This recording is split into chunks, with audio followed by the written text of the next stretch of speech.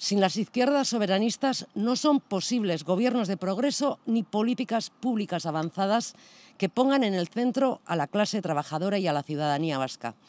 Y precisamente por eso queremos reivindicar que a pesar de estar ante unas elecciones estatales, Euskal Herria tiene mucho en juego el próximo 23 de julio.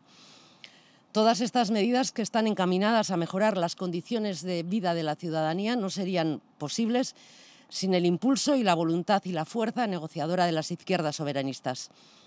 Por eso hoy volvemos a insistir en esa paradoja que atraviesa en este momento histórico la política en el Estado español. Sin el concurso de las izquierdas independentistas vasca o catalana, no hay gobierno de progreso posible en el Estado español.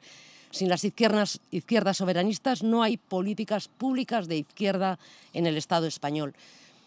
Pero es que además el riesgo de que la derecha gobierne es mayor que nunca y ante eso queremos decir alto y claro que Euskal Herria Bildu es la única garantía antifascista.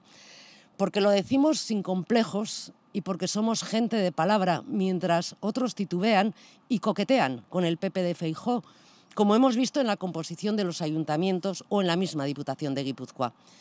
Ese no lo olvidemos, que va de la mano de Vox y la ultraderecha más reaccionaria. Nosotros, nosotras, somos la garantía para no cederles ni el más mínimo espacio. Y por último, me gustaría enfocar estas elecciones como una segunda vuelta del nuevo ciclo político que acaba de abrirse.